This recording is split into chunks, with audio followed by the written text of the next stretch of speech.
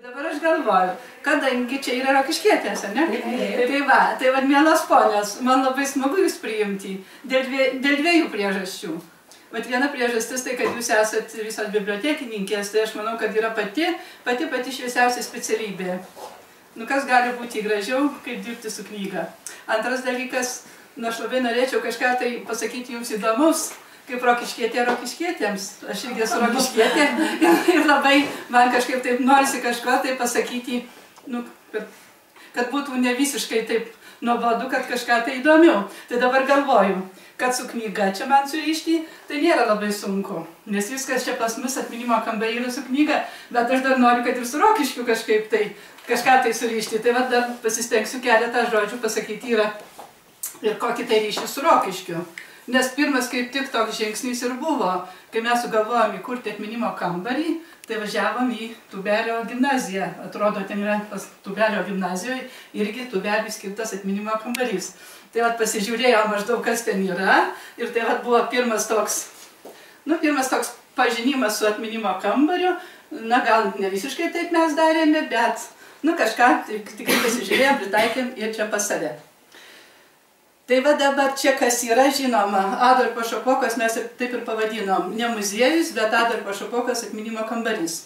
Kadangi apart knygų, apart kokių nors raštų, apart žurnalų mes nieko daugiau neturim.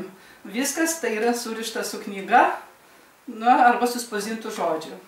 Tai ir pamanėm, kad pavadinimas tiktų geriau Adolfo Šapokas atminimo kambarys. Taip dabar kaip gimė šitą idėją?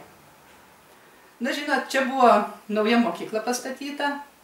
Tai buvo pirmoji gimnazija, kuri kovojo dėl to vardo, kad būtų suteiktas gimnazijos statusas. Nu, po to jau ir mada tokia prasidėjo, kad reikia mokykloms kokio tai vardo. Na ir, kaip pasakyti, Adolfas Šapoka. Senesnį kartą jisai buvo primirštas, o naujai kartai buvo visai nežinomas. Tai o mūsų buvęs direktorius, jis tokios vidutinės kartos buvo, Bet, na, jis kažkaip iškėlė tokią mintį, kad galbūt gražu būtų pavadinti mūsų gimnaziją Adolfo Šapokos vardu. Tai pasikvietė mūsų istorikės, na ir pakla, pirmiausia paklausė mūsų nuomonės. Na, aišku, kadangi jau žinojome, kad jeigu reikės rinkti medžiagą, arba jeigu reikės įkurti kažkoks tai muziejus, tai vis tiek bus tas darbas mums skirtas. Na, tai mes pagalvojom, kad vis dėlto geriau istoriko vardu, negu rinkti medžiagą apie kokį nors kitą žmogų. Na tai dar nebuvo čia taip jau, kad mūsų toks būtų sumanimas ar ten direktorių sumanimas. Buvo tokia paskelbta rubrika laikraštyje, kad jau uteniškiai čia, utenos laikraštė, kad uteniškiai pritartų, kokį vardą suteikti, reiškia, šitai naujai gimnazijai. Na ir buvo visokių pasiūlymų. Ne vien tik tai šitas pasiūlymas, bet vis dėlto, nu, nu, daugiausia balsų surinko Adolfo Šapokas e, pavardė ir buvo nutarta gimnazijai suteikti Adolfo Šapokos vardą. Na, prie suteikia, na tas buvo metai laiko iki nuo gimnazijos pavadinimo, iki Adolfo Šapokos gimnazijos pavadinimo, na, praėjo lygiai metai. Na, tai per tą, per tą laikotarpį mes gavom tokį, nu, tai tiesiog įpareigojimą iš mokyklos administracijos, kad vis tiek reikia maždaug na, apsiginti, kodėl mes tuo vardu čia vadinsimėms, ką mes žinom apie šitą žmogų, na, kažką tai tokio kažką tai tokio surinkti. Galbūt dar ne, ne muziejų, net minimo kambarį, bet tiesiog, vat, jau kad turėtumėm pagrindą, kaip įrodyti, kad mes tikrai verti šito žmogaus atminimo įamžinimo. Na tai šiaip tai, man asmeniškai, man asmeniškai, šiek tiek buvau girdėjusi ir jau buvau prisilietusi prie Adolfo Šapokos, nes Adolfas Šapoka, va tėviškai, jeigu eitumėm tiesiai čia keliu, tai būtų pusantro kilometro grybeliai, tai ir čia prasideda grybelių laukai. Tai visai, sakykime, netoli. Ir tuo metu buvo toks kolūkis, naujasodžio kolūkis, kurį tam mokykla, kurioje aš dirbau, kita dabar nevadinasi Dauniškio mokykla, nušepavom tą kolūkį. Ir, nu, kiek ten viską, bulves kasėm, nu, ką reikėjo, tą ir darydavom. Na ir čia jau Garbačiovo laikais, jau toks vis tiek buvo truputėlį atšilimas, tai na, buvo labai tokia kraštotyrininkė, partinės organizacijos sekretorė to, to kolūkio, jinai labai domėjosi kolūkio istoriją, rašė istoriją. Ir aš dabar juokauju kartais, kad sakau, Adolfą Šapoką aš suradau bulvių lauke. Tikrai, kasant bulves, ta sekretorė, va taip irgi priejo ir, ir, ir Na kasam abi tas bulves iš vagos, jinai sako, a jūs žinot, kad istorikas Adolfas Šapoka yra iš mūsų kolūkio kilmės. Iš tikrųjų, Adolfas Šapokas vardą tai buvo girdėjusi, nes vis tiek, pavyzdžiui, per studijas jisai buvo minimas, bet šiaip tai aš tikrai nežinojau. Tai jinai sako, o sako, aš sako, sus, kitaip tariant, mane, reiškia, susirado, sako, Adolfo Šapokos duktė kuri gyvena užsienyje. Tai viską čia, ką rinkom, ką darėm, tai čia ne mokytojas mes darėm, tai darė mūsų gimnazistai. Mes turėjom pradžioj labai šaunius gimnazistus. Čia būdavo stojami egzaminai į gimnaziją ir tikrai ateidavo elitiniai mokiniai, dabar to nebėra, egzaminai panaikinti ir padaryta lygiava visose mokyklose, bet pradžioj čia buvo labai, labai tokių, nu, labai tokių žingeidžių pas mus gimnazistų, tai mes su jais vat, visur ir važinėjom ir, ir viską čia jie darė. Tai labai nusivylėm nuvažiavę į garso ir vaizdo e, tą archyvą, jie nieko apie Adolfą Šapoką neturėjo archyvose irgi labai mažai medžiagos, beveik nieko neradom, bet visą medžiagą, va kas čia yra ant stalo padėta, tai viską iš tos vadinamas Respublikinės bibliotekos ir iš mokslo akademijos atsišvietėm. Tai leido ten mums dirbti ir Respublikinėje toje bibliotekoje, tai dar, tarp kitko, ir nemažas ir archyvas yra jo, radom jo rankraščių, radom jo laiškų, na, tiesiog tikrai buvo labai įdomu. Tai va su tom dviem bibliotekom dirbom ir tai, ką jau suradom, atsivežėm čia pas save. Tai buvo pirmi, va šitie visi atšviesti darbeliai, tai buvo pirmi mūsų surinkti, bendradarbiavant su bibliotekom, surinkti mūsų jo, jo darbai. Na, iš tikrųjų, iš tikrųjų supratom, kad tai buvo neįrinė asmenybė. Iš tikrųjų, tai buvo neįrinė asmenybė dėl to, kad na, per, per dešimt metų, kiek jis dirbo Lietuvoje, parašė apie 30 istorinių darbų ir kai kuriuos gana tokius svarbius darbus. Na tai ne kiekvienas mokslininkas per savo gyvenimą gali padaryti tiek, kiek jis padarė per 10 metų. Tai va, ten, ten padirbėjom archyvose, tada, tada taip. Buvo labai irgi įdomus toks dalykas. Čia, atrodo, buvęs švietimo skyriaus vedėjas, kadangi jis ten Vilniui, aišku, turėdavo irgi visokiausių užsiemimų ir, ir išgy, kaip ten jis kažkam tai prasitarė, kad naują gimnaziją pavadins Adolfo Šapokos vardu, tai jis atvažiavęs iš to seminaro pasakė taip, suradau aš jums labai įdomų žmogų, Adolfo Šapokos dukterėčią, žurnalistę Roma Griumbergenė. Buvo garsi tokia žurnalistė Roma Griumbergenė, kuri sporto, sportininkė buvo ir rašė sporto visokiausiais klausimais. Tai va ta bet to viena jos knyga yra va kokia mums čia padovanota. O Roma Griumbergenė tuomet e, dirbo laikraščio Lietuvos Aidas redaktorė. Na ir dabar gavom tokią, tokią užduotį nuvažiuoti į Lietuvos Aido redakciją ir susitikti su Griumbergenė. Tai buvo labai dar, kaip sakyti, tokia patirtis dar nu, pasakysiu, pradžia tos patirties buvom labai nedrasus. Dabar važiuoti į tokią vietą čia, nu, kaip čia mums Nu ir vis tiek galvojam, na vis dėlto redaktorė ir, nu, bet nieko, vis tiek susiruošėm, nuvykom.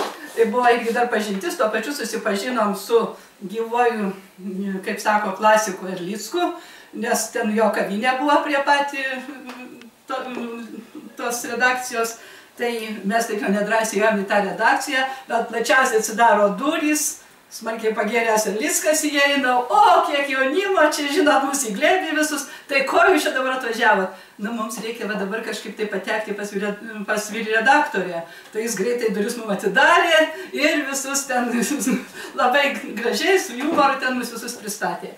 Ir taip susipažinom su Roma Grimbergenė, nu kaip pasakyti, aišku, labai įdomi asmenybė, labai įdomus jos gyvenimas Labai daug įdomus visko sužinojom, labai gražiai šiltai priėmė ir jinai pasakė šitaip. Nu, aš tai, sako, tada buvau tik kokių gal poros metukų, kai Adolfas Šapok pasitraukė iš Lietuvos. Žinot, sako, mano patirtis yra labai maža šito klausimu, bet aš jums pasaky, duosiu adresą savo brolio, kuris gyvena Šiauliuose. Jis jau tada buvo dešimties metų, jau jis su Adolfu Šapoka bendravo, buvo Kaune ten, žodžiu, nu, žodžiu, jau tikrai prisimena viską. Tai va, buvo antroji pažintis su, su, su Nienu Adolfo Šapokos susitikom su Algirdu, ir jo, reiškia, brolio sūnum. Tai va jis irgi padovanojo mums, jis spausdinęs yra Šapokų šeimos odisėja. Buvo toks laikraštys, e, žurnalas, kur spausdino Adolfo Šapokas istoriją, tai ta medžiaga buvo atspausdinta. Tai prasidėjo draugystė su Algirdu Šapoka, labai įdomus žmogus, jis ir dabar tebėra gyvas, labai veiklus ir visada kiekvienais metais atvyksta per vasario 13 šapokas gimtadienį pas mus į gimnaziją, dar ką nors naujo suradęs atveža. Tai va, taip pradėjom rinkti tą medžiagą. Na, paskui važiavom į Panvežio gimnaziją, kurioje Adolfas Šapoka mokėsi. Tai va, Panvežio gimnazijoje nepaprastai didelis muziejus, nepaprastai archyvas didelis, ten aš nežinau, apie ką negalima rasti medžiagos apie viską, tai padovanoja mums vėlgi knygą Panvežio gimnazija, dabar jau išleista yra kitokia knyga apie Panvežio gimnaziją, va, tokia stora, stora, tai yra apie Adolfą Šapoką, nes va, 25 metų yra nuotrauka, kur Adolfas Šapoka baigė gimnaziją, Vinietė, Ir, nu, ten panvežį yra visos laidos nuo 19 amžiaus, tas vinėtės žiūri ir čia yra surašyta, nu, žodžiu, la, kaip didžiuojasi panvežio gimnazija, bet čia ko nedidžiuojasi šitą laidą, kad visą laidą labai žymiai žmonėm tapo. Ir čia Vatadolfas Šapoka yra, toliau yra Juozas Urpšys, paskutinis užsienio reikalų ministras, čia yra Stasys Bačkis, mūsų kardinolo tėvas, Nu, žodžiu, tokia laida, o jau ten visi kiti poetai, kokie mokslininkai ir visa kita. Labai tokia garsi laida. Tai va, Panežio gimnazijoje radom nemažai medžiagos. Po to važiavom į Kauno universitetą. Tai Kauno universitete labai mažai medžiagos, bet, bet radom ten tokių žinučių. Yra parašyta šitaip kad valdžia, reiškia nepriklausomos Lietuvos, ypatingai gabius studentus siūsdavo tobulintis už valstybės lėšas į užsienį. Ir parašyta, toks, toks gabus studentas buvo Adolfas Šapoka iš Grybelių kaimo Utenos rajono. Tai va tas da, ir Utena buvo toks, sakykime, nu kaip, nu provincija gili, o Grybelė tai iš viso, nu toks kaimelis. Tai aišku, tikriausiai tas studentas buvo tikrai labai gabus, nes iš pradžių buvo įsiūstas mokytis į Pragą, mokėsi Pragos universitete, o paskui buvo įsiūstas į Stokholmą ir mokėsi Švedijoje. Na, yra laiškai jo rašyti iš Švedijos, kad jam ten ir sunku dirbti archyvose, o dėstytojai draugai guodžia, sako, nebijok, viskas bus gerai. Na ir va ten yra tokie stendai, kur pirmas, pirmieji jo darbai yra parašyti, būtent grįžus iš Pragos.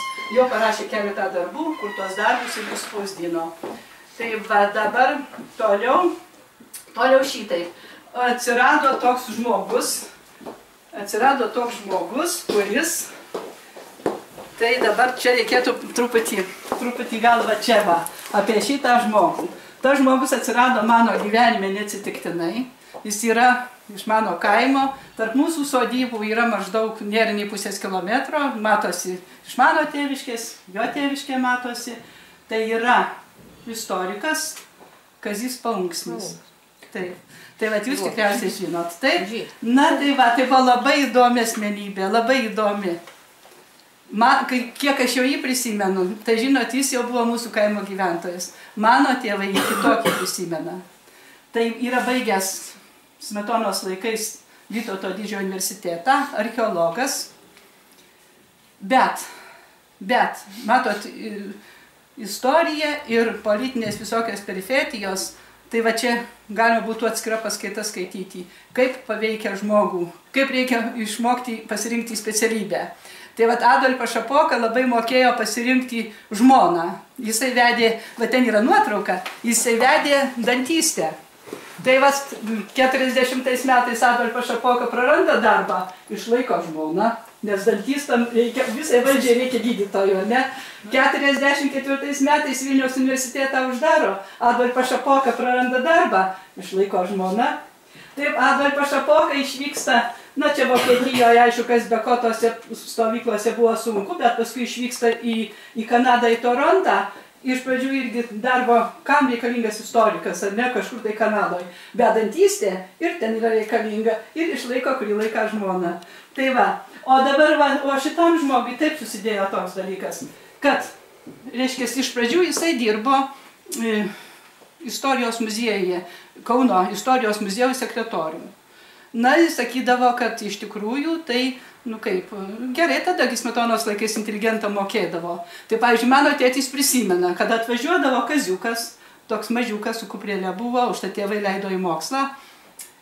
Atvažiuodavo kaziukas per atlaidus, pavyzdžiui, duokiški ir prisi, prisikeisdavo smulkiais lyt, na, po lytą, tos metal, metaliniais lytais. Sako, eina keliu kaziukas nuo bažnyčios ten iki parduotuvės. Ir mėto iš kišenės tos lytus, o vaikai visi, nu, jam žino, tokią palydą.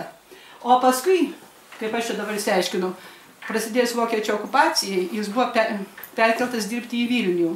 Nors dirbo tai archyvose Taip su politika na, nu, tikrai labai mažai yra sąlyčio taškų, bet vis tiek prasidėjus antrai sovietiniai okupacijai, jis jau kaip nepatikinimas, kaip, kaip vokiečių, sakykime, tarnavęs vokiečiams, aš taip suprantu, iš darbo buvo atleistas. Ir atsikėlė tada gyventi į kaimą. Tai kaime dabar buvo taip, duokiški buvo apylinkė. Tai apylinkės pirmininkas buvo nu, irgi mano kaimynas, dar mano krikšto tėvas, tai jis irgi labai daug pasakodavo visko. Jis buvo mokęsis mokykloje tik dvi žiemas, o Kaziukas dirbo jo sekretorium, na, baigęs Vytauto didžiojo universitetą. tai, tai reiškia, reikia suprasti, va, nu, kokios buvo kokia aplinky, kokias aplinkybės. Tai sako, labai dažnai į Rokiškį siūsdavo į kursus, tada apmokydavo visus tuos tarybinius darbuotojus, apmokydavo, kaip reikia dirbti. Na tai sako, nusinčia Kaziuką į kursus, nu ten skaito politinę kokią tai paskaitą, politekonomiją, ten Lenino raštus. Kaziukas neklauso, bet piešia, piešia, piešia. Nu tai tuoj paunksnį jau tu čia dabar atsakinėsi, tu neklausai.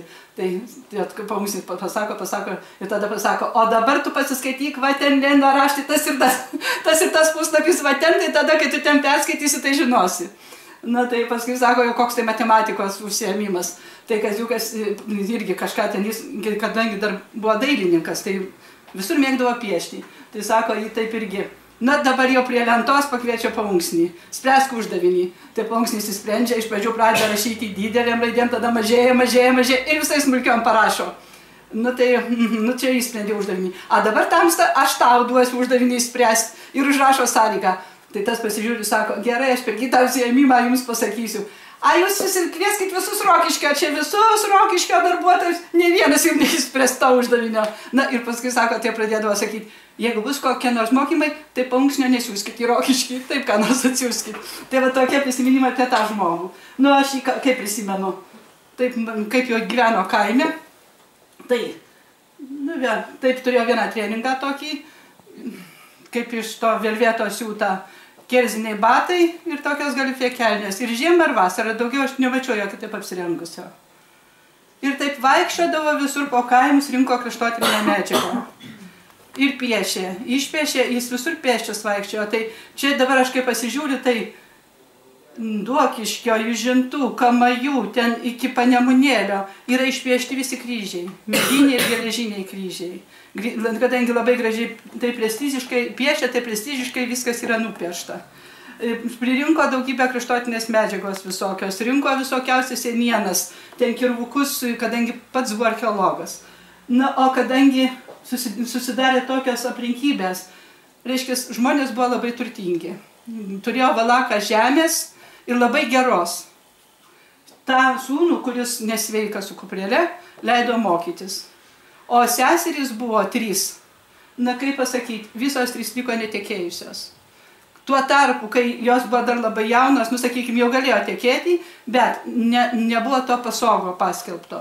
O paskui, jau aišku, po karo nebeliko ir tų jaunikių, už ko galėtų ištekėti. Tai ir gyveno, reiškia, trys seserys ne, nežinotos ir kaziukas vienuose namuose. Na ir labai dažnai susipykdavo, kadangi kaziukas gali kažką tai uždirbti, ar ne? Nu, baigęs universitetą galėtų kažką uždirbti. Pavyzdžiui, nupiešė kolūkių Lenino paveikslą, kokį, žinot, prieš gegužės šventės, prieš spalio šventės, bet neima pinigų. Nu, sako, jau už Leniną, tai aš neimsiu pinigų. Nu, supranta, tada kolūkis ir pamokėtų, bet neima pinigų. Nu, o valgyti tai jam vis tiek, apsirengti tai nieko beveik nereikia, bet valgyti reikia duoti broliui. Tai seserys kažkaip pykdavo. O paskui kiti jau žmonės ir sakydavo, nieko jis ten nebaigęs, kai būtų baigęs universitetą, nu ko jis čia dabar vaikščiotų čia um, paraveis. Tikriausiai nieko čia nebaigęs, tik taip gal kaunė kur buvo. Tai pasistatė seserys pirtelę. Tai Kaziukas paėmė tą, į tą pirtelę, susikėlė savo visus paveikslus, visokias knygas, ten žodžiu, nu, visokius radinius ir įkūrė tokį muziejėlį. Tai va, aš esu buvusi tą muziejų ne kartą, tai sesės irgi labai pykdavo, nu kam tas muziejus dabar reikia, pirtis yra pastatyta. Tai va tas, tas žmogus man, jau kai aš studijavau, tai vis klausdavo, ar šapokas istoriją tu žinai? Aš buvau girdėjęs, negaliu sakyti, kad aš nebuvau girdėjęs šitos pavardės ir šitos istorijos. Bet kokiam studentui ar ten moksleiviui, jeigu nieks neklausinė, kasgi ten skaitys ją, tai nieks ten jos neskaitė. Tai jau po to po mirties, kita yra labai tokia, sakyčiau, labai man miela asmenybė, iš Rokiškėtė, iš dabar Duokiškėtė, kitaip tariant, visą gyvenimą. Tokie yra mokytojai, Jelena Janukėnė. Tai va, tai žodžiu, aš yra mano istorijos mokytoja. Nu, visą laiką mes palaikom ir, ir po šiandienį, palaikom ryšius, labai pasikalbam įvairiom temom. Tai va, aš ir klausiu, sakau, Kaziukas sakydavo, kad jisai turi šapokos istoriją. Janukėnė sako taip, kai Kaziukas mirė, visą tą muziejų kažkas per tas laidotojas viską išparceliavo. Nu, žodžiu, liko tik tai gal kažkam, kas nereikalingi dalykai, kurie dabar yra tos mokytojos muziejui įkurtam. O labai svarbus, vertingi daiktai per tas laidotuvės dingo. Kažkas pasinaudojo tuo dalyku ir matyt, matyt kažkam tai tas buvo reikalinga. Tai vadinai sako, aš girdėjau, man Kaziukas sakė, kad Adolfo Šapokas padovanotą istoriją jisai perdavė krašt, Rokiškio kraštotyros muziejui. Na tai pasidarė įdomu, reikia nuvažiuoti į tą muziejų pasižiūrėti, ar tikrai yra. Na ir nuvažiavom ir va darbuotojai atnešė štai šitą knygą. Ir atėm parašyta ponui Kaziu Punksniui Nadolfo Šapokas. Vadinasi, iš tikrųjų jisai šitą knygą turėjo ir artimai bendravo. Ir dabar, kad jis tuo laiku bendravo su žymiai žmonėm Kaune, tai aš dabar tikrai esu įsitikinusi, Šiaip tai jis, va, tik vieną dalyką, dabar jau nieko nepasiklausi, niekaip nesuvedu galų. Jis man visada rodydavo vinietę iš Kauno universiteto ir rodydavo Justą Paleckį. Ir va, sakydavo, čia va Paleckis, čia Paleckis. Bet ar jis, kai, koks ryšys, pagal amžių turėtų būti jis, gal jis dėstė, ką nors Adolf, e, Kaziukui, aš dabar nebegaliu atsekti. Bet tik žinau tie, kad e, jis nuvažiavo jisai pas Justą Paleckį Ir Paleckis atvedė tokį raštą išrašė Rokiškio valdžiai, kad šitos šeimos netremti, netremiama. O šiaip tai turėjo būti tremiama, nes jau buvo stambus buožės. Tai va jis tą minėdavo, kad jį išgelbėjo Paleckis. Nu, o man tai aiškindavo taip, kad kadangi Nu, aš parinkdavau Paleckį, kad Paleckis buvo žurnalistas, tai aš parinkdavau jam žinių. Ir apie smetoną, ką jau ten, nu žinot, va tokių visokių geltonai spaudai. Tai va, sako, mūsų santykis su Paleckiu buvo tokie gana artimi. Tai va, tada radom šitą istoriją, paskui čia buvo visokių renginių Kaune ir aš tada jau pasidomėjau šituo žmogum. Ar jis iš tikrųjų, ar jis iš tikrųjų, nu kaip, kaip sako žmonės, nieko jis ten nebaigęs, nieko panašiai. Pasirodo, kad tikrai baigęs archeologiją ir, ir, ir, ir netgi tais laikais prieš karą yra parašęs ne vieną istorinį darbą, labai domėjosi kovas su kryžiuočiais ir kalavijuočiais, labai domėjosi architektūrą, Zapiškio bažnyčią ištyrinėjęs ir architektūrinių požiūrių. Nu, iš tikrųjų tai yra istorikas. Bet jeigu Adolfas Šapoka dabar yra atrastas, tai va šitas istorikas yra neatrastas. Dėl paprasčiausios priežasties nebuvo, va, šitas žmogus paliko, nu, sakykime, paliko vaikus, paliko giminaičius. Šitas žmogus, seserys netekėjusios, vaikų nėra, pats nieko nepaliko. Na, kažkiek tai mokytoja Janukėlė nepasirūpino, bet tai yra per maža, kad jisai taptų iš tikrųjų pakankamai žinomų. O iš tikrųjų labai įdomi asmenybė yra. Tai va, o tada mes, tai va, buvo pirmoji knyga, kurią aš Rokiškio kraštotyros muziejui turėjau rankose. Originalią Lietuvos istoriją už kadrų pašapok ir mylimas. O tada atsirado toks žmogus grybeliuose, va štai padovanojo, štai yra originali knyga Adolfo Šapokas istorija. Ta, ta tokia pati, kokia yra ir kraštotyros muziejuje. Aš į ją pačią. Jau viskas. Gerai. Mhm. Tai va, tai, tai dabar dar vis tiek aš jau norėsiu užbaigti savo mintį, gerai? Dar va, noriu apie porą žmonių papasakoti. Kadangi mūsų bendri tokie renginiai būna su, su žymiai žmonėm. Kas čia pabūna, tas pabūna ir bibliotekoje. Ir kas čia pasirašo? Pasirašo ir bibliotekoje. Tai vat vienas toks svečių buvo mūsų prezidentas Valdas Adamkus.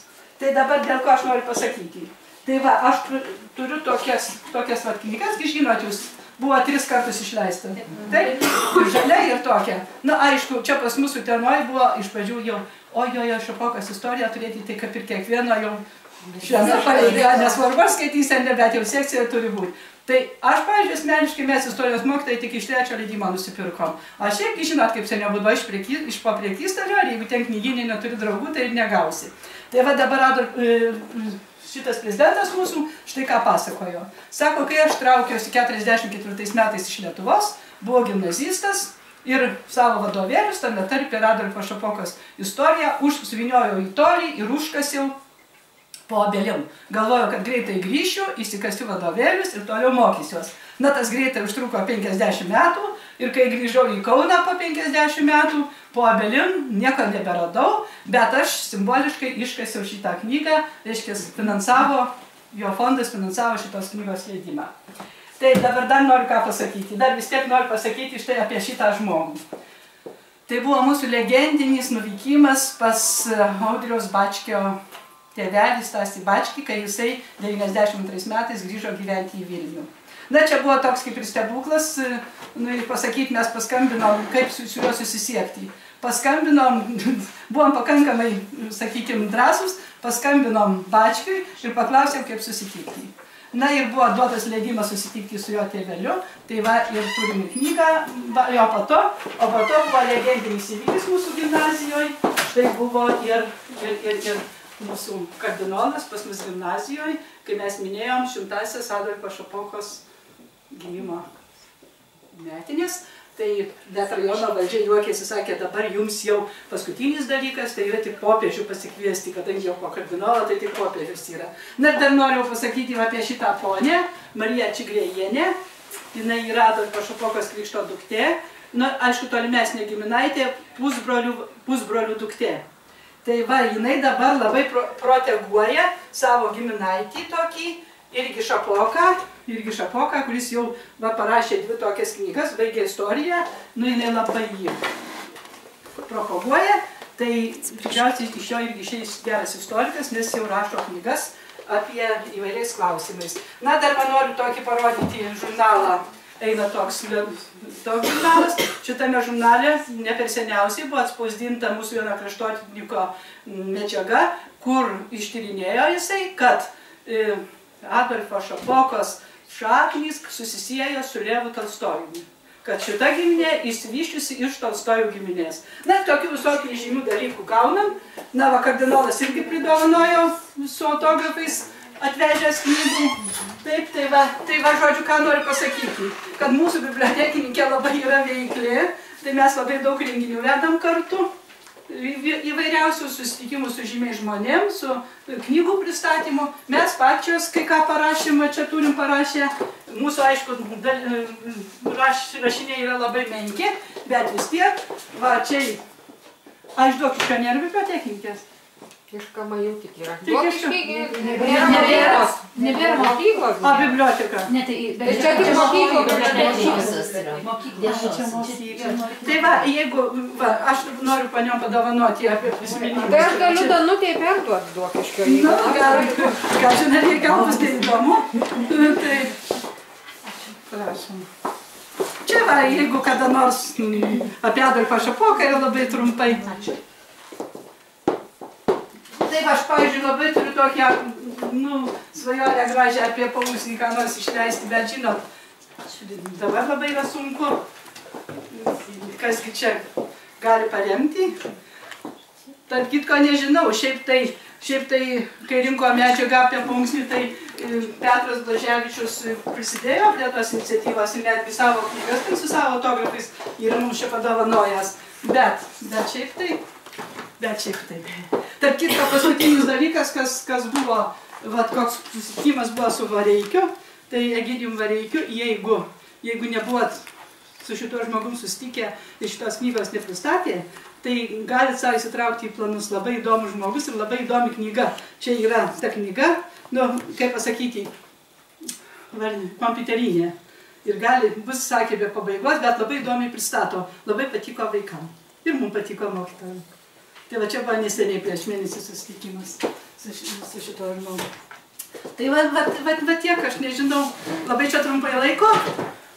Ačiū Labai ačiū šiltai. labai, labai šiltai papasakojo. Nu tai, kažkaip nežinau. Nežinau, nei ką čia papasakoti, nei ką. Žinot, kaip kiekvienas dirba, kiekvienas savo. Kiekvienas savo. Kas, kas, žinot, kada dirbi, tai kažkas, kažkas lieka. Kažkas lieka kitaip, o kai klausai apie svetimus dalykus, tai, tai va taip. Bet šiaip tai labai, labai smagu, kad dar nors ne visas sunaikino bibliotekas, mokyklas sunaikino. Aš va rašiau Duokiškio mm, mokyklos istoriją, aplamai apie Duokiškį savo malonumą rašiau, tai žiūrėjau, kaip buvo keturių klasių, tada buvo šešių klasių, tada buvo septynių klasių, tada buvo aštuonių klasių, tada buvo vidurinė, kurią aš baigiau, tada pradėjo vėl pagrindinė, pradinė ir nieko nebeliko. Nu tiesiog, tiesiog širdis skauda, pagalvoju. Bet tai yra, bet įsivaizduokit, kol yra mokykla. Kol yra mokykla, tai yra ir biblioteka, tai yra kultūros žydinys. Jeigu nėra viskas, nu aš nežinau, tikrai labai gaila, kad taip atsitiko. Nu, aišku, nėra gal vaikų, ką padarysi, bet...